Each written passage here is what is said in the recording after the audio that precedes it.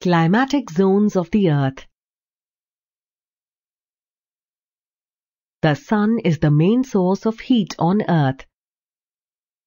The amount of heat received from the Sun is maximum at the equator, decreasing as we move away from the equator and towards the poles.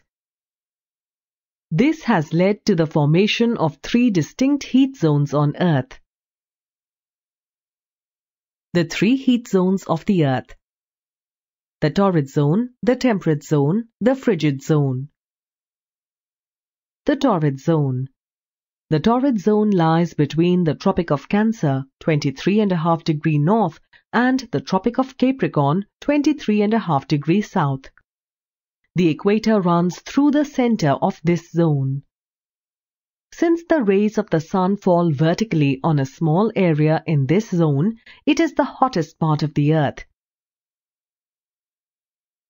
The areas in the torrid zone which are near the equator are the equatorial regions. The areas in the torrid zone which are near the two tropics are the tropical regions. The equatorial regions receive rain every day. This region has no winter. Most of the world's deserts are in this region. The hot and wet equatorial regions have evergreen forests. These are forests that have a great variety of trees that grow in several layers. The areas which get heavy rains during summer have deciduous forests of trees that shed their leaves during dry season.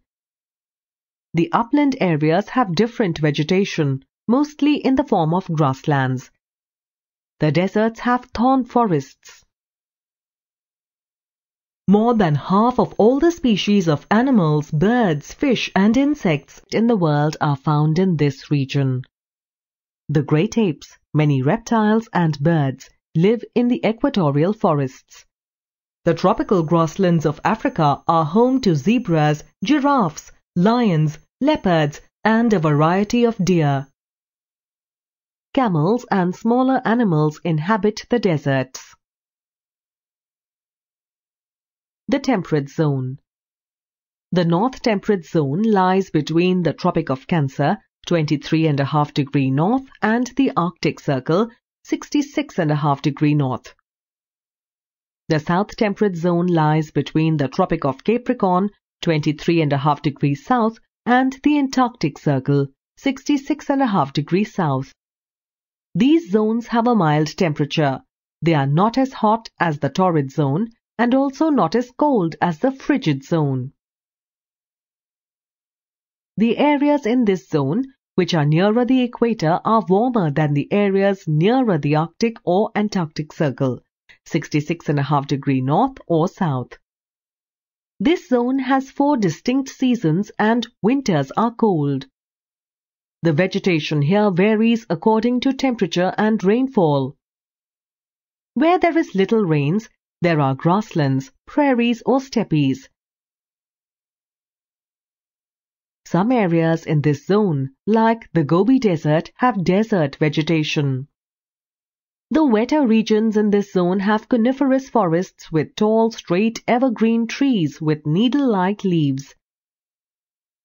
Some of the regions near the Mediterranean Sea have Mediterranean vegetation of deciduous trees. The rest of the zone has mixed forests. Giant pandas, grizzly bears, llamas, wolves, kangaroos, koalas, wallabies, and migratory birds abound in this zone. The Frigid Zone The North Frigid Zone lies between the Arctic Circle and the North Pole, 90 degree north. The South Frigid Zone lies between the Antarctic Circle and the South Pole, 90 degrees south. This zone is the coldest region on Earth. The polar regions remain frozen for most of the year.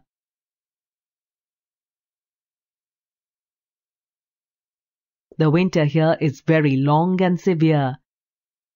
The poles have six months of continuous darkness in winter. In summer, there is continuous light for weeks together. Small trees, bushes and berries grow in this region.